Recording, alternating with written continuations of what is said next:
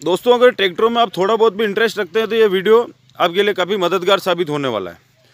दोस्तों, क्योंकि आज हम बात करने वाले हैं दुनिया की तकनीक में सबसे बेस्ट कंपनी कोबोटा ट्रैक्टर जो कि जापानी कंपनी और और जो भारतीय कंपनी की बात कर रहे हैं, वो है एस्को ट्रैक्टर इन दोनों ने कल एक नया जॉइंट वेंचर अनाउंस करा है।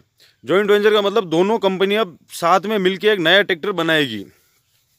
और इसी के तहत कल दोनों कंपनियों ने एक संयुक्त प्रेस कॉन्फ्रेंस करके ये जानकारी सार्वजनिक करी। जहाँ दोनों ही कंपनियों का कहना है कि हम जापानी तकनीक और एस्कोट की बेस्ट इंजीनियरिंग के साथ एक नई जनरेशन के ट्रैक्टर तैयार कर रहे हैं। इसी क्रम में लगभग 40-60 का जो प्रतिशत अनुपात रहेगा दोनों कंपनियों का, एक कंपनी का 40 प्रतिशत और दूसरी कंपनी का 60 प्रतिशत। और इस पहले चरण में 300 करोड़ रुपए इन्वेस्ट किए जा रहे हैं, जिससे कि नई जनरेशन के ट्रैक्टर तैयार किए जा सकें। वैसे एस्कोट कंपनी का ये कोई नया जॉइंट वेंचर नहीं, इससे पहले भी वो समय समय पर अलग अलग कंपनियों के साथ जॉइंट वेंचर करती रही है। उसमें फोर्ड सन के साथ उसने फोर्ड जैसे बेहतरीन ट्रैक्टर भारतीय किसानों को दिए हैं।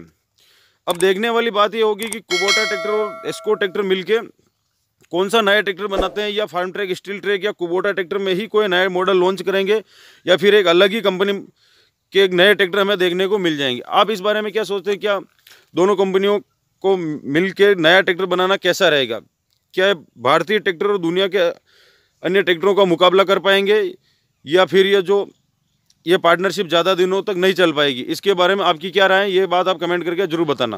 फ़िलहाल मैंने सोचा एक छोटा सा अपडेट है जो कल ही जारी हुआ था तो मैंने आपके लिए एक वीडियो बनाया। फ़िलहाल अगर ये वीडियो पसंद आया तो इस चैनल को सब्सक्राइब कर दीजिए।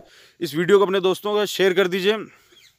और आप अपने विचार इस जॉइंट वेंचर के बारे में कमेंट करना ना भूलें। फ़िलहाल के लिए वीडियो देखने का बहुत बहुत धन्यवाद। अगर आपका कोई शिकायत है, सुझाव है तो आप नीचे कमेंट करना ना भूलें। जय जवान, जय किसान।